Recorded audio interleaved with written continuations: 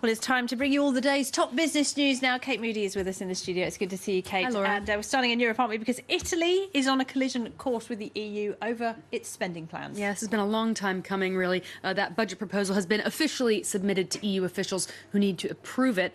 But the blueprint breaks previous commitments to reduce spending and government debt. And Jean Claude Juncker says that giving the green light could spark a backlash among EU member states. Owen Barnell reports. A new budget plan, and for Italy, just in time. Rome met the midnight deadline to submit its spending plan to Brussels after some last minute debate, so its populist coalition thrash out the finer details. After much consideration, we are going to Brussels with a budget we are proud of and that we want to discuss without prejudice. We are convinced that austerity is a path that can no longer be taken.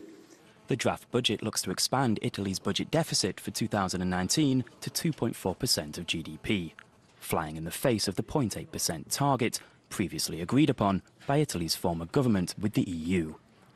Rome wants to lower the retirement age from 68 to 62 for certain workers, introduce a monthly basic income of 780 euros for unemployed Italians, and tax cuts for the self-employed. A goodbye to austerity, Yet Italy is already the holder of massive sovereign debt.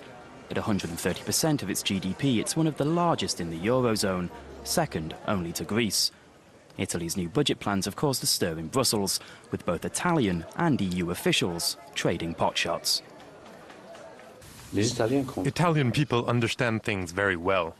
They are aware that in the long term it is not possible to spend more than what you have. But if we would accept what the Italian government is proposing, we would have a violent reaction from the other countries of the Eurozone. EU officials are in a delicate position.